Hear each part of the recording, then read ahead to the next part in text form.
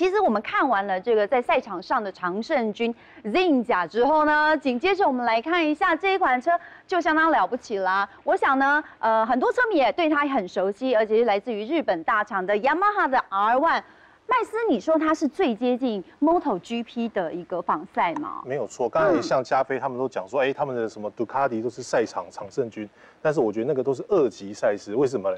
因为他们跑的就是所谓的就是 SBK，就是比较低一点的赛事。你如果说他讲到摩托车赛事，当然最红一定是 MotoGP 嘛。对，MotoGP 最常见的常胜军，要么就是 Honda，另外一台就是这台雅马哈。而这一台呢，我今天还特别带一个东西，是什么啊？你为什么拿这个旗子？因为哎，你不要小看这个旗子哦，这个旗子我相信哦，台湾很多雅马哈的车迷，他当初会买这一台车的原因，就是因为这一台车，这一台车就是雅马哈车队的它的当家赛车，而这位车手呢，很多人就是冲着四十六号 Valentino Rossi 而来的，而且你看哦，冠莹，你看这台车子的造型，跟这台有点像，这台车的车头是不是一样？哎，是是有。因为这一台车当初推出来的时候，它就有个外号叫做什么？它是最接近 Moto GP 外形的一台试售车子。所以你看，我们现场这么多、这么多所谓的 Super Bike 来看，每个都有大灯。各位有没有发现它的这个大灯，它做的特别小，它把它藏在里面。它为什么要这样做？因为比较像 Moto GP。没有错，你看我们在回头看这个图片，你会发现它的整个整流罩。几乎是一模一样的造型，对，所以当初很多人就是因为这个，呃，我要支持 Valentino Rossi，所以我就要买这台车子。可是这一台车子呢，因为它是所谓的限量版，就好像我们的 B N W M Power 一样，你挂上这个 M，价格就会稍微高一点点。它这个普通版呢，只要八十九万，就是所谓的 R One，只要八十九万。可是因为它当初推出的时候，它只有限量五百台，所以它的要价要一百二十六万，稍微高了一点点。可是呢，因为它所谓说它用了很多的赛车的科技，比方说它贵的地方哪一些？我们的整流罩，整流罩非常重要。一般的整流罩大家都是塑胶的，便宜嘛。嗯。虽然说哎撞坏了就，它这个整流罩原厂碳纤维。啊，碳纤维就贵了。而且你看轮框，这个轮框蓝色的，不要觉得它它是随便烤漆的哦，这个是镁合金的轮框，这是属于就是 for 竞赛用。它为了让它的车身更为的轻量化，而且我们再看它这个油箱，铝制的油箱。当初设计者呢，他说呢，通常呢我们这种所谓的这种 super bike 来讲的话，他会喜欢烤漆。就像杜卡迪一样，把它烤得亮亮的啊，黄黄。可是他会说，我这台真的就是否竞赛用的，我就是要否这种啊赛场上面用的，所以他刻意保留这个原色。那因为这一台车子呢，它是已经是车主的车子，那这个车主他可能平常有在跑赛道，所以他有贴了这个所谓的油箱止滑贴。嗯。所以如果说你把这个止滑贴撕掉的话，当然我们不会撕的，就是车主的车。对。你就可以看到它整个的这个金属的造型非常的漂亮。那可是呢，R1M 呢这台车子来讲。因为它的售价比较高，所以基本上我觉得，通常车主买来的时候，第一件事情就怎么样，把它换成我们就俗称所谓的副厂壳。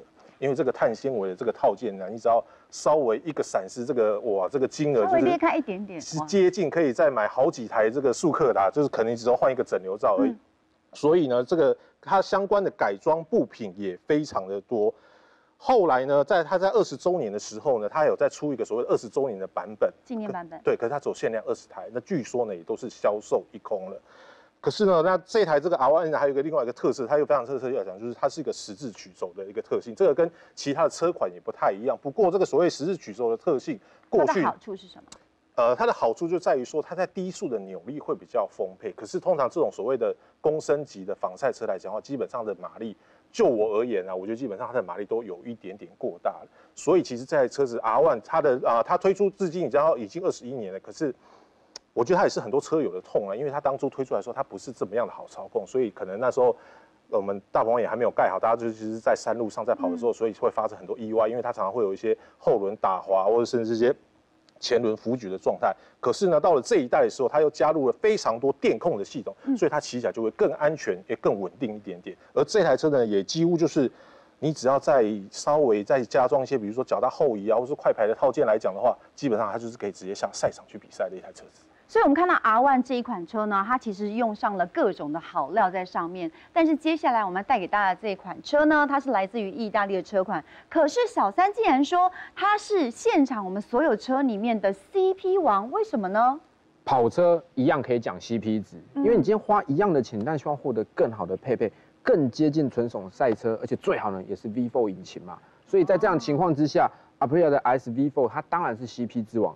不过我要先来反驳一下但是等一下，是那你把本田那台车放哪里？各有特色 我等一下娓娓道来，哦好不好好好？而且我们要先澄清一个观点，刚刚陈麦斯在那边乱讲哦，说这个接近 MotoGP 才是最棒的。其实，呃，每一个车厂它诉求的方式不一样。像 RSV4 呢，我们可以看到它车身上有个 logo 叫做 Be a Racer，嗯，你不需要去崇拜车手，你自己就可以当车手。对对，因为阿布利亚这个品牌哦，其实我觉得它有点好斗，他什么都要跟人家争第一。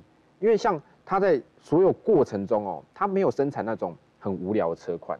今天就算他是做速克达，他有洋黄，他排气量做的比别人大，他的动力要比别人快，他什么都要跟人家拼。所以到了 RSV4 身上也是，甚至呢，他不止跟别人拼哦，他也要跟自己拼。因为这一代的 RSV4 在上市的时候，他诉求一个很奇怪的特点，他说他所有的改良哦，就是为了让他这台车呢，每一次的单圈都可以快一秒。嗯那这个快一秒就是说，就是为了竞速而生。我跟上一代的自己比，我每一圈都可以快一秒。哦，那就很厉害，很厉害，所以它是由内到外完整的去改变。那我们都知道，以台湾的法规来说，我们环保法规算是很严格了哦，嗯甚至严格到有点很就是奇怪。对你，你必须 对，可以这么无说。但是呢，RSV4 进来台湾之后，它一样可以保持它最大马力两百零一匹，这是非常惊人的。甚至你在 Euro f o r 的法规上来讲，也完全没有问题。嗯，因为他们就是不想要妥协。我希望你跨上这一台车呢，你今天骑出去就是跟人家拼的。我们不是在公路上，你今天这个车子，我一样后照镜拆掉，我就下去练车。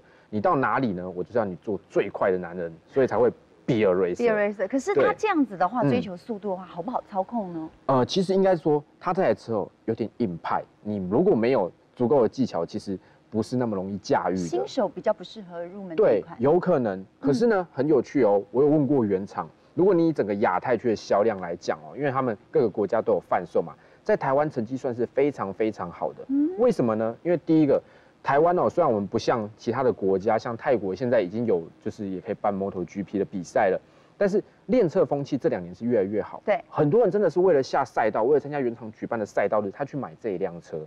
那同时呢，他们也觉得说这台车哦，我我们其他性能配备我们都不要讲了，它把手上有一个很特别的按钮，上面写着一个 pit，嗯。就是 pit 区的限速。我们看那个比赛，不管是 F1 是 GP，你进到 pit 区都有一个限速嘛没，错，他直接帮你设定好，你骑进去你就按下去，你是跟车手一样的，我们不用崇拜其他车手，你自己就是选手了。嗯。所以这一款车很多人会把它拿来当做是磨练自己技术的一个方式，因为哦当你花到这样的钱，因为以总代理销售来讲，它大概在八十多万的价钱，你就可以买到一台你说入门这款就是八十多对，就是就是就是我们现在看到这一款，嗯因为它的 RF 哦，RSV4 RF 就代表是比较接近工厂赛车运动的版本。嗯那你今天花到这样的钱，你就可以直接来到这样子的等级，不是很好吗？对那当然我们讲 CP 值，你跟日系车比，有时候呢是比较 尴尬一点。可是我们必须说，日系车以 Double 来讲，它当然也是很棒的一台车，可是它设计是更全面的，就是新手你也可以很轻松的驾驭，嗯，老 range 比手较广，对，老手也可以玩得很开心，但是比较硬派一点，你真的要去追求极致的动力输出的话，当然还是像 R S B Four R F 这样的车呢，会比较适合。哦，所以其实他们在设定上面是有不太一样的，给骑士的感受也不同。